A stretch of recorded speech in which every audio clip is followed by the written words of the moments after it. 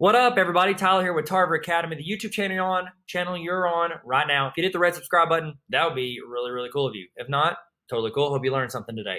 So I want to show you how to turn on email templates, and then also I'll go through really quickly how to insert an email template in there. So let's start here. So we're going to go up to the upper right in our Gmail. We're going to go to the gear in the upper right hand corner.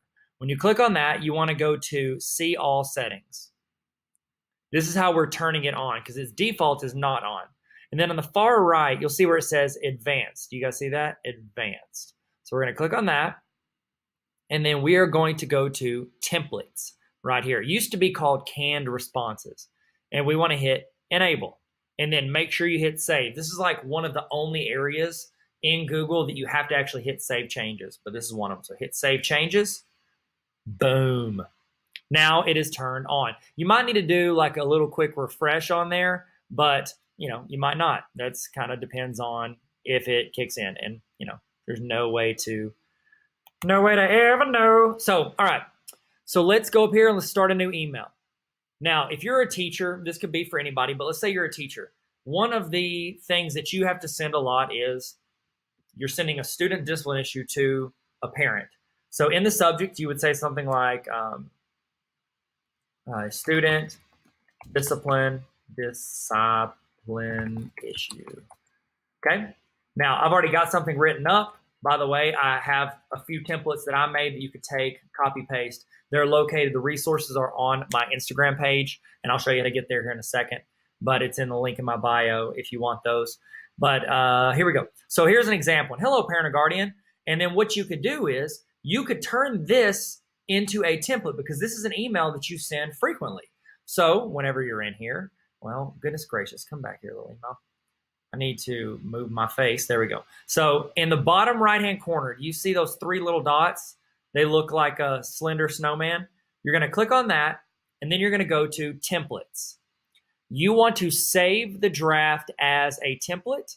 Now, you can go replace another one you have. I'm going to create a new template. Save as a new template. Boom. Then you can just title it whatever you want, hit save. Okay, now watch this. I'm to X out of that email. Let's say I want to create a brand new email. I got a brand new student with a brand new discipline issue. I go down to my three dots, I go to templates, and then I go to student discipline issue. It will fill in the entire email, including the subject. I can choose the parent name. We'll hit up my friend Leanne. And then I like to do blanks because it tells me what to fill in. I want to inform you that, you know, Matt Pinkerton, you know, that's their son. Let's say that is their son. And then I feel an issue occurred on Monday. During this time, your child chose to, you know, throw a pencil. And then you you could put your name in there and leave it in as a template. I didn't. Boom. And then you could hit send. Bam. Done. So you can go in and do that for anything, absence, um, student discipline issue. I also recommend doing it for um, some like if you have, say, you've got students that have tech issues. I would honestly recommend just saying, "Hey, it looks like you're having a uh, looks like you're having a tech issue. If you want, go to tarveracademy.com slash Google for help. If you can't find the help there, you know, then ask me. It's like you give them another filter to go look and find the stuff before you send it to them. So if you want those templates, just go to my Instagram at instagram.com slash Tyler Tarver. That's not my name. There we go. Slash Tyler Tarver.